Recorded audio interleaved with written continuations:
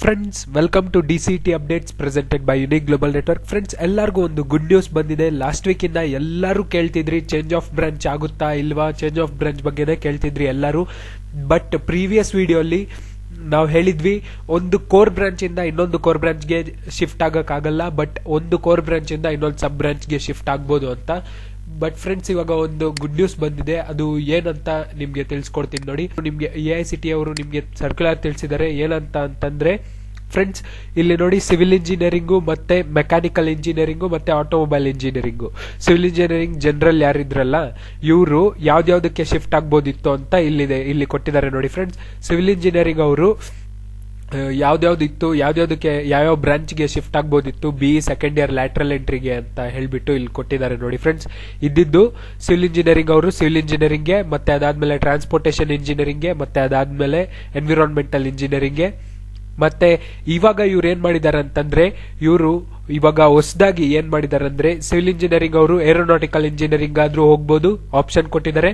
ಮತ್ತೆ ಅದಾದ್ಮೇಲೆ aerospace engineering ಆದ್ರೂ ಹೋಗ್ಬೋದು. ಇದು ಕೊಟ್ಟಿದ್ದಾರೆ ಸಿವಿಲ್ ಇಂಜಿನಿಯರಿಂಗ್ ಅವರು ಇದಕ್ಕೆ ಹೋಗ್ಬೋದು.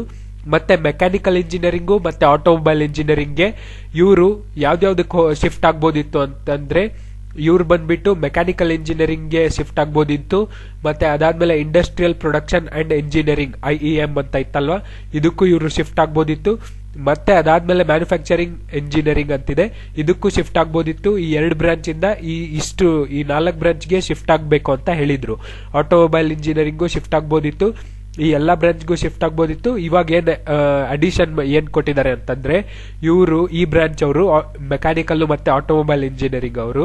ಏರೋನಾಟಿಕಲ್ ಇಂಜಿನಿಯರಿಂಗ್ಗೆ ಮತ್ತೆ ಏರೋಸ್ಪೇಸ್ ಇಂಜಿನಿಯರಿಂಗ್ಗೆ ಬರೀ ಈ ಎರಡೇ, ಈ ಮೂರೇ ಬ್ರಾಂಚ್ ಅವ್ರಿಗೆ ಈ ಎರಡು ಇಂಜಿನಿಯರಿಂಗ್ ಬ್ರಾಂಚಸ್ನ ಅಡಿಷನಲ್ ಆಗಿ ಇನ್ಕ್ಲೂಡ್ ಮಾಡಿದ್ದಾರೆ ಫ್ರೆಂಡ್ಸ್ ಸೊ ಇದನ್ನ ನೀವು ನೋಡಿಕೊಂಡು, ನಿಮ್ಗೆ ಏನಾದರೂ ಇಂಟ್ರೆಸ್ಟ್ ಇದ್ರೆ ಏರೋನಾಟಿಕಲ್ ಇಂಜಿನಿಯರಿಂಗ್ಗೆ ಇನ್ ಕೇಸ್ ನೀವು ಸಿವಿಲ್ ಇಂಜಿನಿಯರಿಂಗ್ ಮಾಡಿ ಮೆಕ್ಯಾನಿಕಲ್ ಇಂಜಿನಿಯರಿಂಗು ಅಥವಾ ಆಟೋಮೊಬೈಲ್ ಇಂಜಿನಿಯರಿಂಗ್ ಮಾಡಿದ್ರೆ ನಿಮ್ಗೆ ಏನಾದರೂ ಏರೋನಾಟಿಕಲ್ ಇಂಜಿನಿಯರಿಂಗ್ ಅಲ್ಲಿ ಆರ್ ಏರೋಸ್ಪೇಸ್ ಇಂಜಿನಿಯರಿಂಗ್ ಅಲ್ಲಿ ಇಂಟ್ರೆಸ್ಟ್ ಇದ್ರೆ ನೀವು ಜಾಯ್ನ್ ಆಗ್ಬೋದು. ನೋಡಿ ಫ್ರೆಂಡ್ಸ್ ಒಳ್ಳೆ ಆಪರ್ಚುನಿಟಿ ಇದೆ. ಪ್ಲಸ್ ನಿಮ್ಗೆ ತೋರಿಸಬೇಕು ಅಂತಿದ್ದೆ. Sorry civil engineering mechanical engineering automobile engineering ನೀವೇನಾದರೂ ಬಿಲಾಂಗ್ ಆಗಿದ್ರೆ, ನೋಡಿ ಫ್ರೆಂಡ್ಸ್ ನಿಮ್ಮ ಆಪ್ಷನ್ ಎಂಟ್ರಿ ಅಲ್ಲಿ ಹೋಗ್ಬಿಟ್ಟು ನೀವು ಹಿಂಗೆ ಸ್ಕ್ರೋಲ್ ಮಾಡ್ತಾ ಇರಿ. ನೋಡಿ ಫ್ರೆಂಡ್ಸ್ ಅಲ್ಲಿ ಸಿವಿಲ್ ಇಂಜಿನಿಯರಿಂಗ್ ಸಿವಿಲ್ ಇಂಜಿನಿಯರಿಂಗ್ ಅಂತಿದೆ.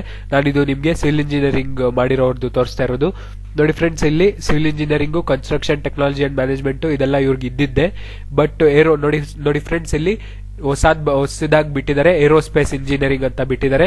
ಮತ್ತೆ ಇಲ್ಲೂ ಸಹ ನೋಡಿ ಫ್ರೆಂಡ್ಸ್ ಏರೋನಾಟಿಕಲ್ ಇಂಜಿನಿಯರಿಂಗ್ ಅಂತ ಬಿಟ್ಟಿದ್ದಾರೆ. ನೋಡಿ ಫ್ರೆಂಡ್ಸ್ ಈ ತರ ಎಲ್ಲೆಲ್ಲಿ ಅವೈಲೇಬಲ್ ಇದೆಯೋ ಅವರೆಲ್ಲ ಇಲ್ಲಿ ಬಿಟ್ಟಿದ್ದಾರೆ. ನೋಡಿ ಇನ್ ಕೇಸ್ ನಿಮ್ಗೆ ಬೇಕು ಅಂತ ಇಷ್ಟ ಇದ್ರೆ ಅಪ್ಲೈ ಮಾಡಿ ಫ್ರೆಂಡ್ಸ್ ಸಿಕ್ಕಿದ್ರೆ ಒಳ್ಳೇದು.